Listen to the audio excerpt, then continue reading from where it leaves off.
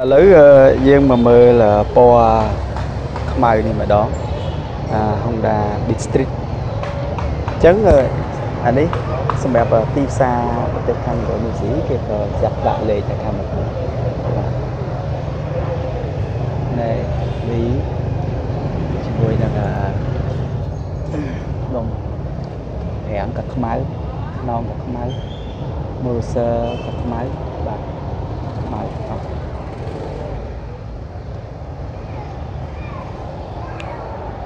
ទេនេះគឺជាពណ៌ខ្មៅអញ្ចឹងតែមួយ compact sport automatic ជើងមើលខាងកែបវិញខាងកែបនេះមានកន្លែងដាក់អីបាទហើយជាចូល10លីត្រអីដែរបាទ